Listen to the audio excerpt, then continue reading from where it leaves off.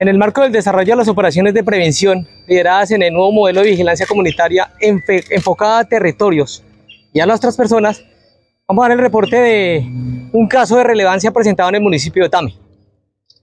Precisamente el día de llanero, cuando estábamos celebrando nuestras festividades, se logra la captura de cuatro sujetos, los, cuatro, los cuales se movilizaban en una camioneta tipo Hilux, Toyota Hilux, en el momento que se encontraba realizando una patrulla de la Dirección de Tránsito y Transporte de nuestros grupos unidos de la, selección de la sección de Tránsito y Transporte de nuestra Policía Nacional a la salida del municipio de Tame, se encontraban realizando un puesto de control. Esta camioneta observa a los policiales e inmediatamente emprende la huida. A la reacción policial en la persecución, posteriormente se dejan dos sujetos de la camioneta y emprenden disparos o arremeten con disparos hacia la integridad de nuestros policiales.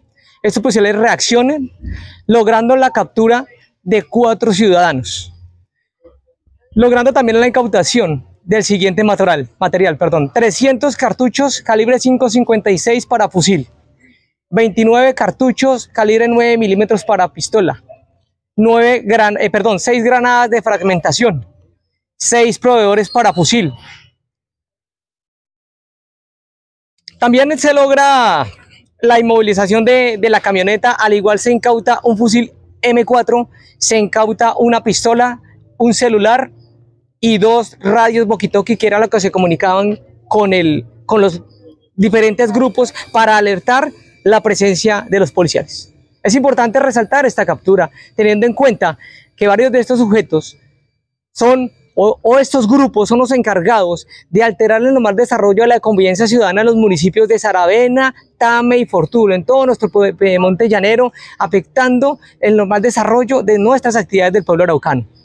Coronel, ¿a qué grupo al margen de la ley pertenece? Bueno, la primera hipótesis se señala al frente décimo de las FARC, que se encontraban por esta zona. ¿Cuál es el objetivo de estos hombres estaban ingresando al municipio de Tame. Ellos pretendían pasar el municipio de Tame efectivamente y el objetivo de, de, este frente es obviamente aterrizar a la población araucana, lo cual es obviamente nuestras autoridades, de en cabeza de nuestro gobernador y de nuestros alcaldes, liderados y acompañados de nuestras fuerzas militares y la Policía Nacional, estamos para garantizar el normal desarrollo de nuestras actividades para nuestra población, para nuestro departamento.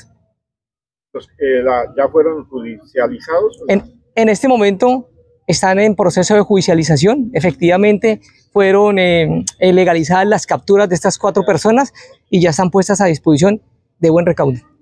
Coronel, en las últimas horas se ha hablado del hallazgo de unos cuerpos en sabanas de Arauca, concretamente en el Rosario. ¿Qué información oficial tienen las autoridades? son dos personas que se movilizaban en, una motocicleta.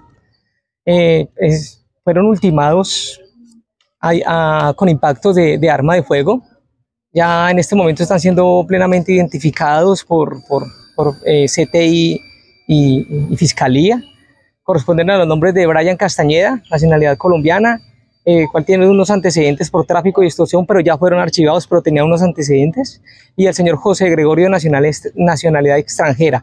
Estamos en el proceso investigativo para verificar cuál era la actividad que estas personas realizaban en este sector de Arauca Capital.